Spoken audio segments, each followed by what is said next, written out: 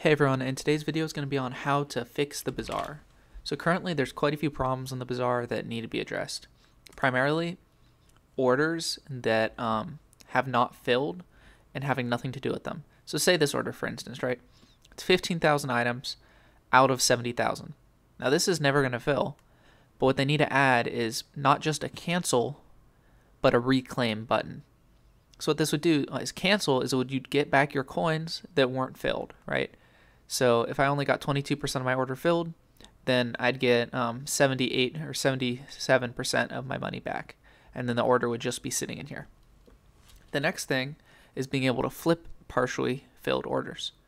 So once you can cancel your order, you can either reclaim it, which goes into your inventory, like as you normally would, uh, 2,000 at a time to fill your inventory, or you can still flip it. Normally, you can only flip 100% filled orders. So if this was 69 out of 70,000 items, you can't do anything.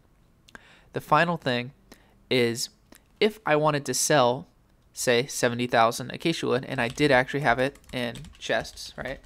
Like, say, I've got all these booster cookies, right? And I want to sell them, there needs to be an add to order button. So let's let's just do a booster cookie example, right? So I've got all these cookies, and I make an order, and um, the next thing is there should be a way to add more to that order so that it's not limited to one inventory size, but then I can go to my orders and add more at that price, right? And I'm surprised one sold that quickly. But anyway, that would be the next big change. And those are just some quick changes that would make the bazaar much more enjoyable to use.